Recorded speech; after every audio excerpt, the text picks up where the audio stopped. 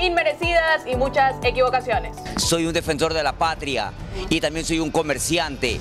Yo soy Ariana Suárez. Yo Valeria Gómez. Y yo Dana Bustamante. Bienvenidos a News, el noticiero digital de Cato Media. Veamos los titulares. La ministra más preparada, Sade Fritchi, titular de Ambiente, se viralizó por su amplio conocimiento en geografía y facilidad de palabra. La Gasca y sus consecuencias. El aluvión en Quito dejó dos víctimas mortales y bastante daño material, pero también curiosas decisiones comunicacionales. Bardo en el CPSCS. Destituyeron de la presidencia a Nicole Bonifaz luego de gritos y coso. Asume Andrés Fantoni, muchacho del PCC que ahora es bien pro Novoa.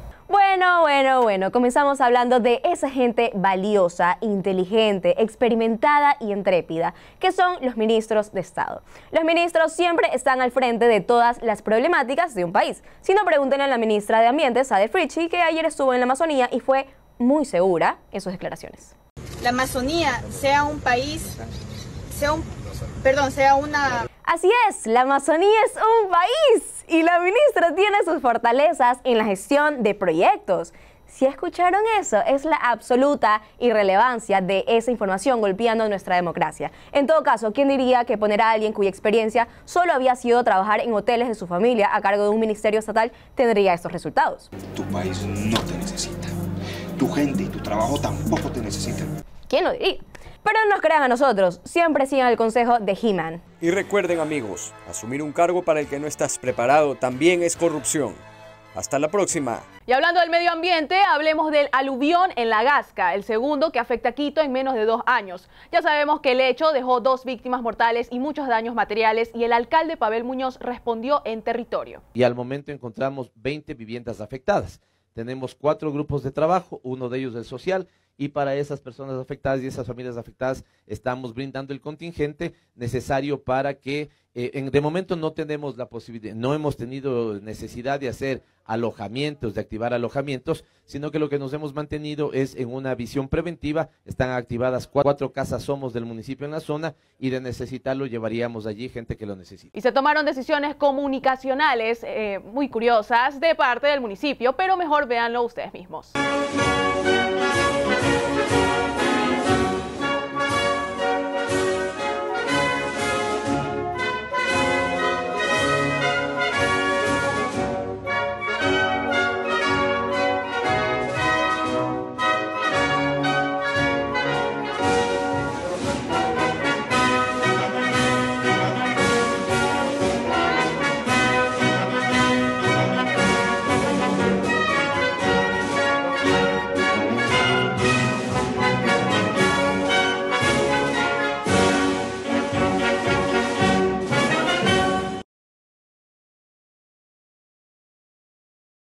El himno de Quito, las fotos, las tomas, todo se siente tan absolutamente viejo e impostado que da risa.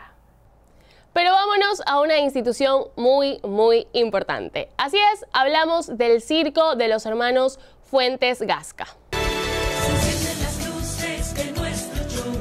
No, mentira. En realidad hablamos de otro circo que no da risa el Consejo de Participación Ciudadana y Control Social. Tuvo un nuevo bardo que comenzó así entre Michelle Calvache y Nicole Bonifaz. Suspendo en este momento no la puede, sesión, señorita presidenta, en este momento acabo de apelar la clarísimo un golpe en de Estado este momento institucional y yo no lo voy a permitir en esta presidencia. presidencia. usted es incompetente.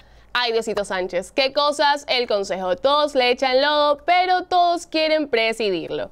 Es más, luego de que la consejera Calvache apelara la presidencia de Bonifaz, esta última fue destituida con cuatro votos y quien asumió fue Andrés Fantoni, consejero que por cierto fue la recomendación de Jaime Nebot en campaña y que ahora está muy, muy cercano a Daniel Novoa. Se compromete a respetar los derechos y garantías establecidas en me comprometo por cada uno de los ecuatorianos, por las familias. ¿Ya podemos decir que el gobierno está a cargo del Consejo?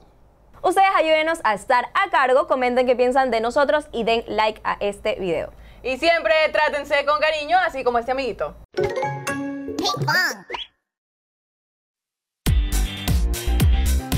Un gran abrazo y nos vemos mañana. Bye.